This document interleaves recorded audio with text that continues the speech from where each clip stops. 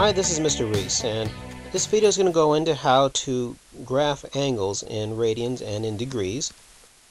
You are probably aware of degrees. Degrees is a unit of measure that's based on a straight angle, straight angle being essentially a straight line, so 180 would be the basis for it. Well, a radian is based on the radius of a circle and its arc length. It's defined as such. If you take this distance here the radius, this distance here also the radius, and then this distance here along the curve of the sector that's also got the same length, then the resulting angle is considered 1 radian. We estimate that it's about 57 degrees because if you were to take an equilateral triangle where every angle is 60 degrees, you can see that since it's equilateral, all the sides are the same. That's R, that's R, that's R. But for a circle, this third side here is curved. And because it's curved, it falls slightly short of the 60 degree mark. However, to give a, a better idea of exactly how much a radian is, let's take another radian and tack that on, and then another radian and tack that on. You'll notice how we've got almost a straight line here. In fact, we have three radians so far, but if we tack on a little bit more, only then will we be able to get a straight line. And hopefully you see just how many radians it takes to make 180 degrees. Pi. Therefore, we use this conversion. 180 degrees is equal to pi radians. I want you to know that for degrees, we use a, this little symbol here to denote the units, but there is no units here for radians. So 3.14, we just simply leave it like that. We don't use like centimeters or meters or some other unit or whatever. It's implied that you're using radians. Therefore, if you want to convert between them, what we would do is we would multiply either by pi over 180 degrees or 180 degrees over pi. Remember, these two are equal to each other, so when you multiply by this conversion, you're essentially multiplying by 1. For example, let's say you want to convert 45 degrees to radians. What you want to do is this, since you're converting to radians, you need this degree symbol to cancel. So when you're trying to determine which one do you multiply by, the first or the second, you multiply by the one that will allow you to cancel out the degree symbol. In other words, this one, because this way, when you times them out, you'll see that this, and this reduce out, one on top, one on the bottom.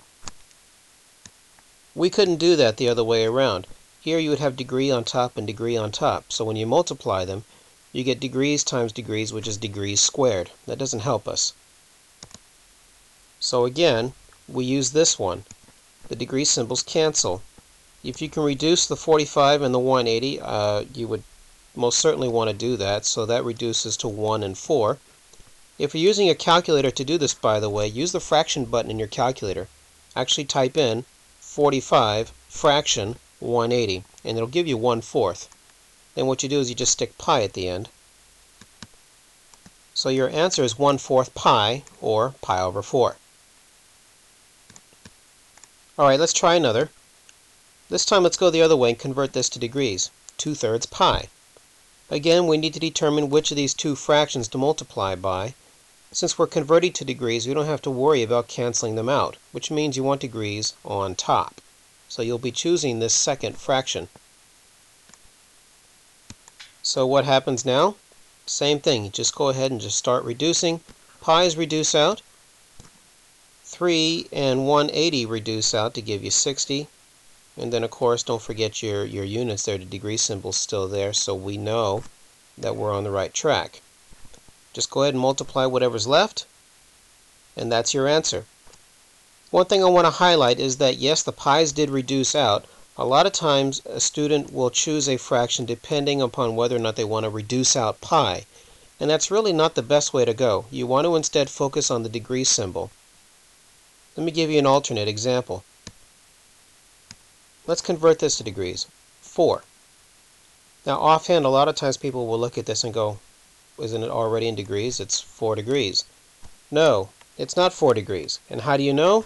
There's no degree symbol right here. See like right here, here, those are degree symbols. We don't see that on this. So that's how you know we're in radians.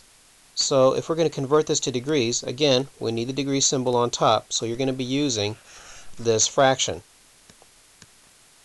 So in this case, there's nothing to reduce out.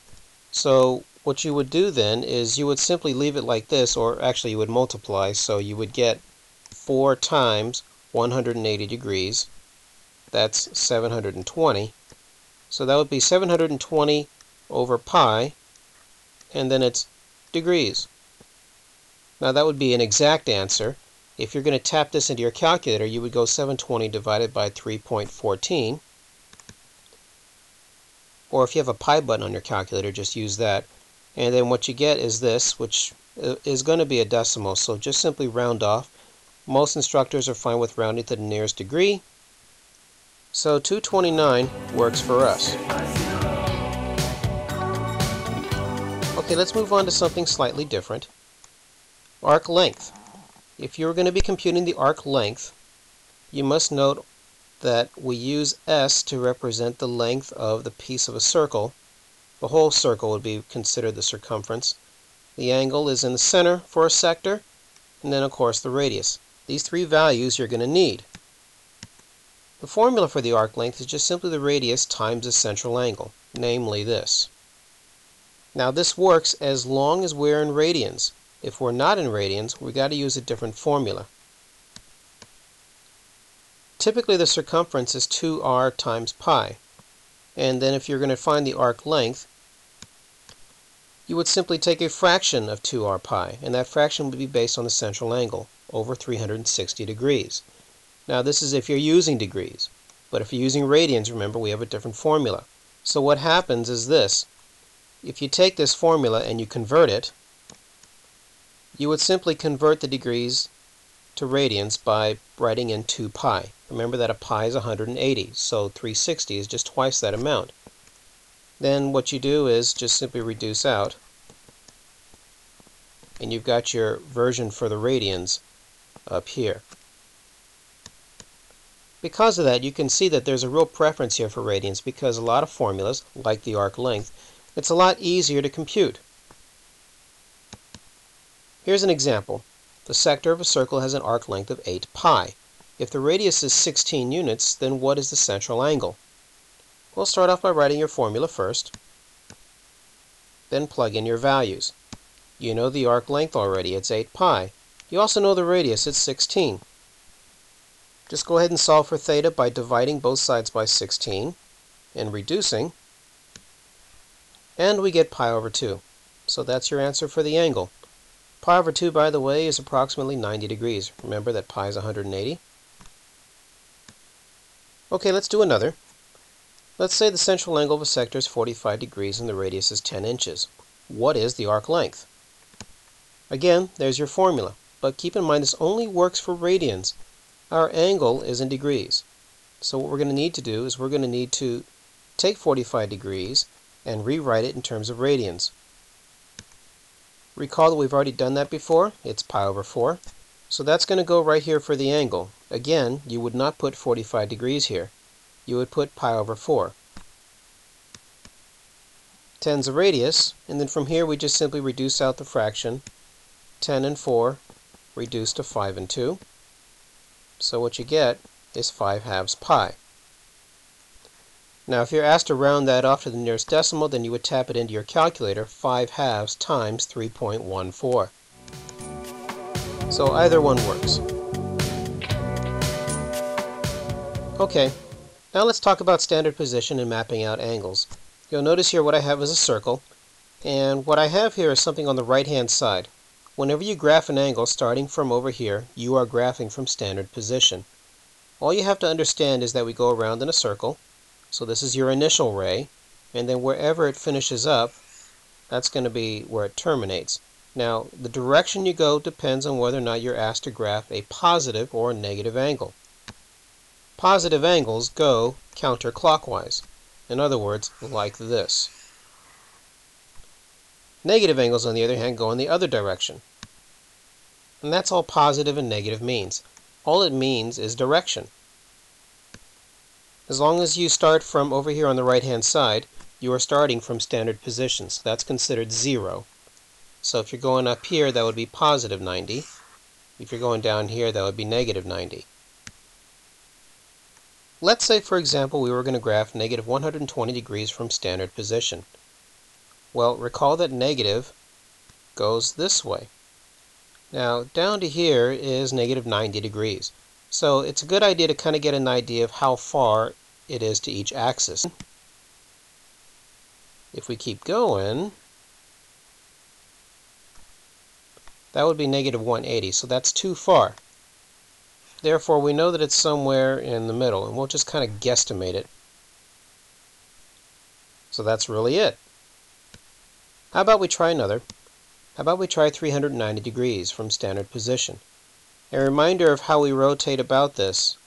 Let's say we were going in the positive direction. This would be 90, that's 180, that's 270, and that's 360. And you'll notice, by the way, I'm also including radians. 390 goes beyond 360, so if we went around in a complete circle, we still wouldn't get there. So then what you do is you just keep going. I mean, if you went another 90 degrees, this would be 450, so that's too far. So that puts us about right here. If you show a circle like this, that's how you will have shown that you've gone around 390 degrees. So that's it. How about we do one more? Let's go 5 fourths pi. Now, if you're doing this in radians, here's how you would think of it. This is a 180 degree angle which remember we said is equal to pi radians. So think about what that means. If this is one entire pi, the 4 here is telling you that we can cut it into four pieces.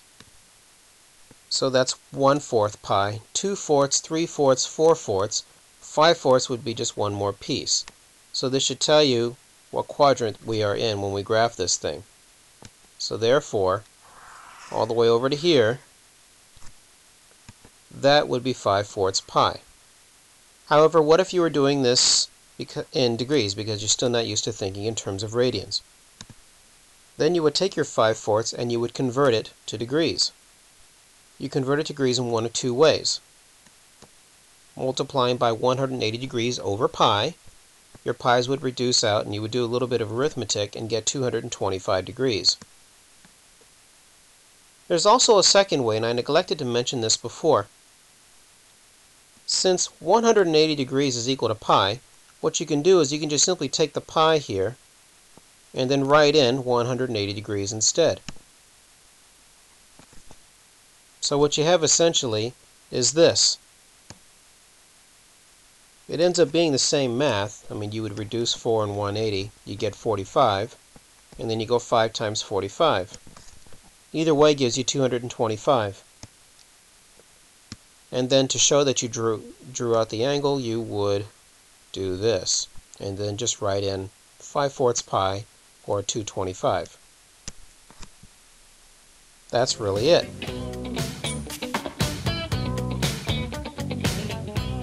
Okay, we're going to finish up here with coterminal angles. Coterminal angles are just simply this. These are angles that terminate in the same place. For example, 30 and negative 330 are coterminal angles.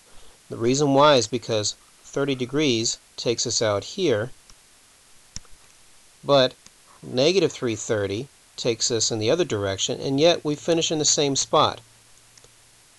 Those are coterminal angles, meaning that they share the same terminal ray. For example, let's say we wanted to determine a coterminal angle for 420. I'm emphasizing a coterminal angle to state that there are lots. In fact, there are infinitely many. 420, if you were to graph that, would take you over here to the first quadrant. Again, that's after you cycle around. So all you need was another angle that would terminate here. Now, if you figured out the difference between 420 here and then this last mark here that we passed, which was 360, that would be 60 degrees. That is one possible answer. You could also go in the other direction. Or you could go past this mark and then go around again. Because of that, you have infinitely many answers. One big thing that you should note, though, is that coterminal angles, they differ by 360 degrees. Like 420 was our original, 60 is an answer. If you subtract the two, you get 360. Now, if you went around again, it would be a multiple of 360, which means that you don't need to draw a picture to get a coterminal angle. All you would have to do is add or subtract 360. In this case, I subtracted, so 60 would be an answer. If I added instead, then 780 would be an answer. You can add another 360 to this and get yet another answer. So again, there are infinitely many answers. All you got to do is add or subtract some multiple of 360 degrees. Okay, let's try one last example here. Let's find a coterminal angle to 5 sevenths pi. Now before you think, convert that to degrees, you're thinking pain. That's pain because first you must go through the whole issue of doing a conversion. And again, that could mean multiplying by 180 over pi, or just simply substituting 180 degrees into pi. You're still going to get a fraction or a decimal that doesn't uh, that doesn't uh, terminate, and then you're going to have to take 360 and blah blah blah. So instead, what you do is you just stick to radians. What's the radian equivalent of 360 degrees? That would be 2 pi. So what you do is you add or you subtract 2 pi. And you can do this easily with a calculator, believe it or not, because your calculator most likely can handle fractions. Take 5 sevenths, minus the 2. Don't worry about the pi's because they're like terms.